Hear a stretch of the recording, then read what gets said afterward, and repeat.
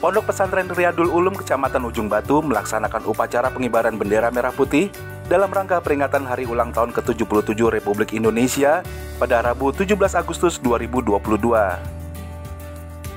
Upacara bendera dihadiri 300 peserta yang terdiri dari tenaga pendidik, para siswa SMP dan SMK Riyadul Ulum, santri Ponpes Riyadul Ulum, pengurus Yayasan Tuah Amanah Umat, serta pengurus DPD LDII Kabupaten Rokan Hulu.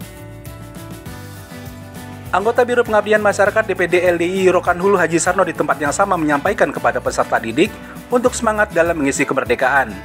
Dia mendorong agar para peserta didik untuk melanjutkan perjuangan para pahlawan.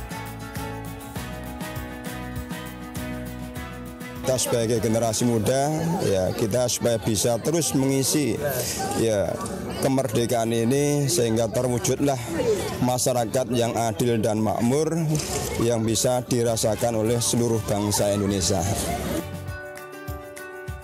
Dalam menyemarakan peringatan ulang tahun ke-77 RI, Ponpes Riyadul Ulum juga mengadakan berbagai kegiatan.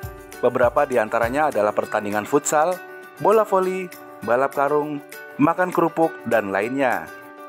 Pertandingan dan perlombaan tersebut diikuti oleh seluruh peserta didik dan tenaga pengajar. Indonesia kuat, cepat. Klik like jika menyukai video ini dan subscribe untuk mendapatkan berita terbaru dari LDII TV. Alhamdulillahi jazakumullahu khairah telah menonton.